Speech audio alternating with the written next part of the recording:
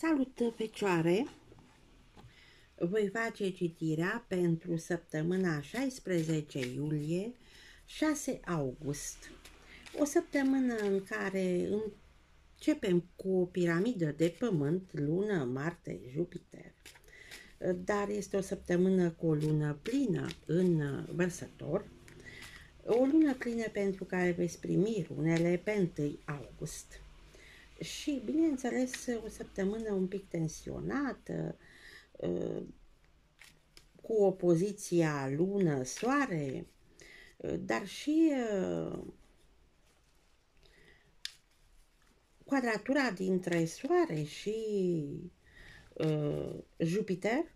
Și să nu uităm aspectul tensionat al lui Mercur cu Saturn retrograd. Uh, deci, uh,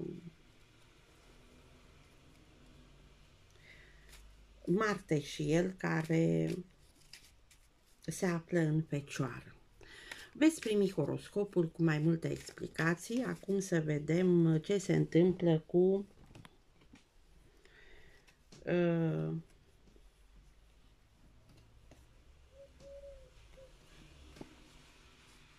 voi în această săptămână. Uitați, primele cărți care au picat din pachet.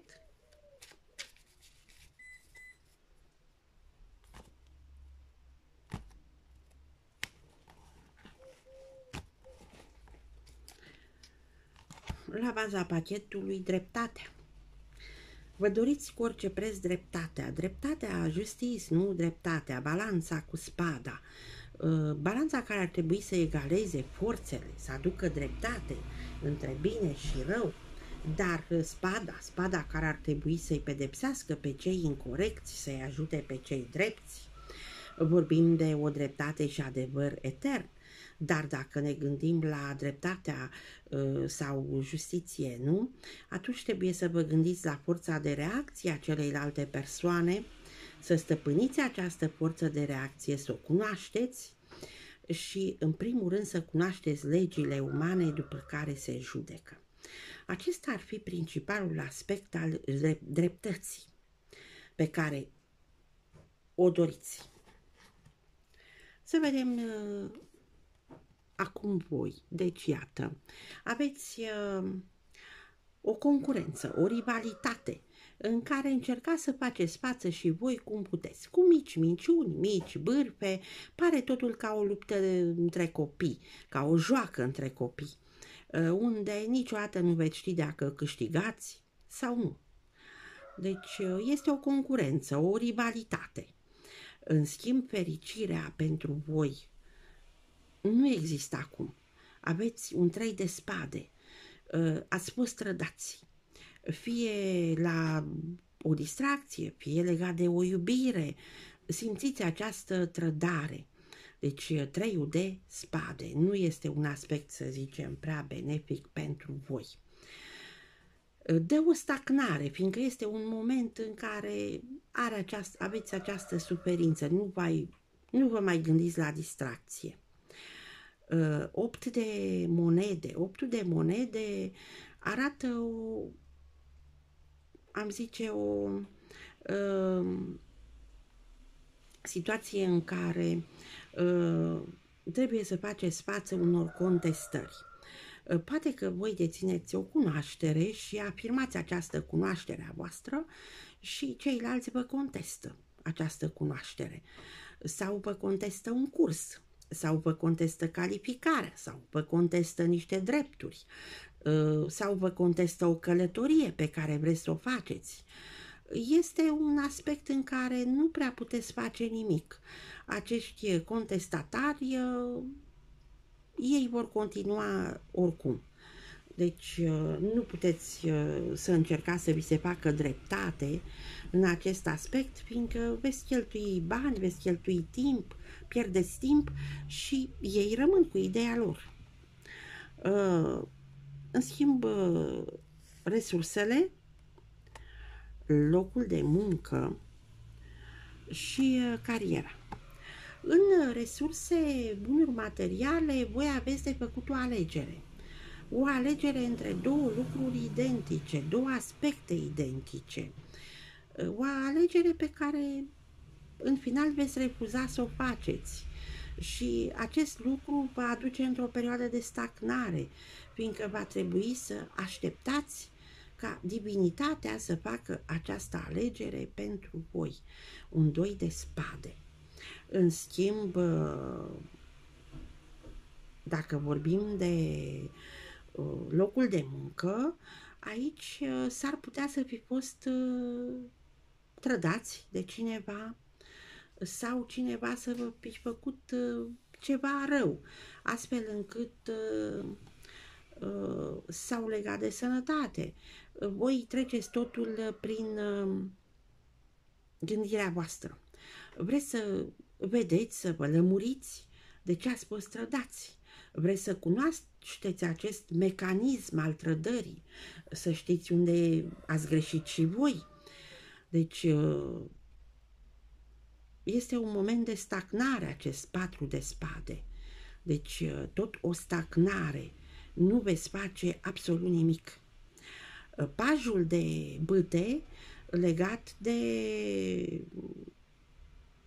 o persoană care poate să vă influențeze cariera sau puteți fi chiar voi dacă aveți, sunteți femei și aveți, eu știu, un aspect pe berbec, să vă doriți lucruri noi, să fiți foarte activi, foarte creativi, dar totuși să încercați să vă atingeți menirea, să călătoriți și totuși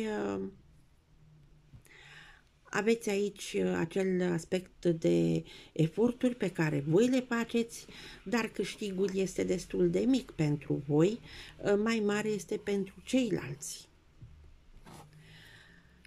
Colegi, prieteni, uh, comunicarea, contractele, relațiile, voi aveți aici o comunicare cu frați, surori, veri, verișori, cu un patru de monede, unde aveți, am putea spune,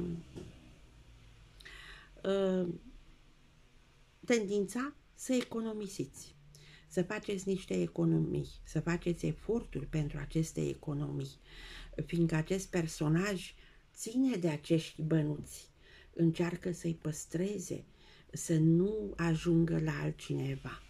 Acesta ar fi 4 de monede. Uh, în schimb, 10 uh, de bâte arată eforturile pe care le faceți legate de locul de, de contracte. Un contract la locul de muncă, o asociere sau poate un proces uh, sau chiar și în căsătorie. Voi munciți foarte mult. O muncă unde sperați să primiți recunoașterea, să primiți uh,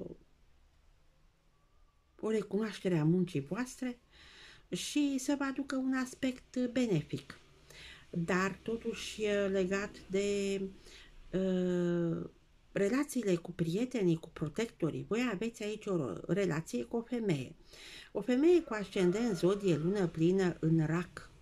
O femeie care este suverană, o femeie peste 50 de ani, dar este o femeie care își arată sensibilitatea, uh, romantismul, uh, dar în primul rând uh, este o femeie care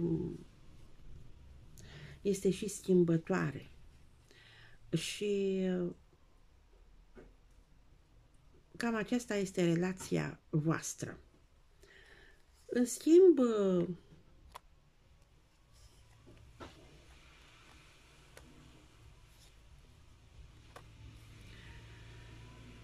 legat de cămin de familie, primiți o veste, uh, un opt de spade, o veste care vă dă un fel de blocaj, nu vedeți parcă scăpare din situația voastră.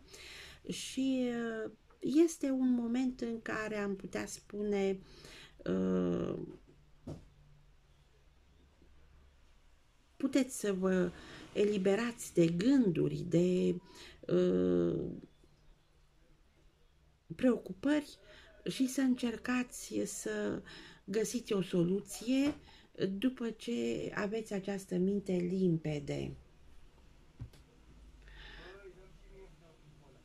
În schimb, pajul de spade aduce schimbări.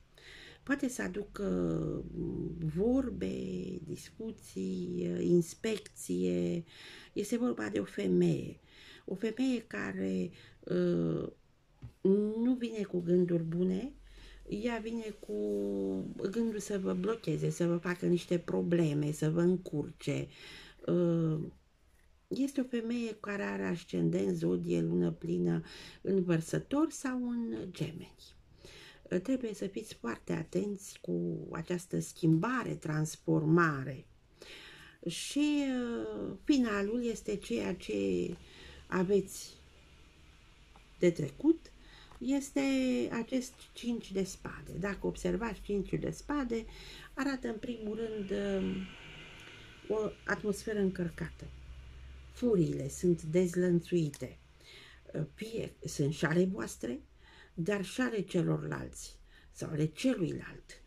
Poate fi vorba de o ceartă iubire, o ceartă în afaceri, o ceartă cu un prieten, o ceartă în care voi veți spune tot ce aveți de spus, dar și celălalt va spune tot ce are de spus și uh, am putea spune că nu o să vă aducă un aspect prea benefic, fiindcă nu mai lăsați loc de împăcare. Această ceartă duce întotdeauna la o separare. Cu toate acestea, voi uh, ați avut aici o etalare cu arcane majore. Nu ați avut decât uh, o arcană ma majoră la Uh, baza pachetului. Uh, în rest, numai arcane minore. Deci am putea spune că este o săptămână în care veți trece de la una la alta, veți uh, fi așa activi cât de cât, dar uh, foarte comunicativi, nu, uh, mai repede muncitori, uh, să încercați să faceți anumite lucruri, probabil, și sigur o să aveți o ceartă. Cam acesta este principalul aspect în această săptămână, nu vor fi schimbări majore, mai mult tensiuni, mici tensiuni, așa, deci uh, aspectul uh, poate să fie mai mult de stagnare, am putea spune. Uh, eu vă doresc o săptămână frumoasă, cu împliniri, și nu uitați, dacă vreți să ajutați acest canal, puteți să dați un like, puteți să vă abonați, puteți să transmiteți mai departe, nu vă costă nimic, dar ajutați canalul și vă mulțumesc!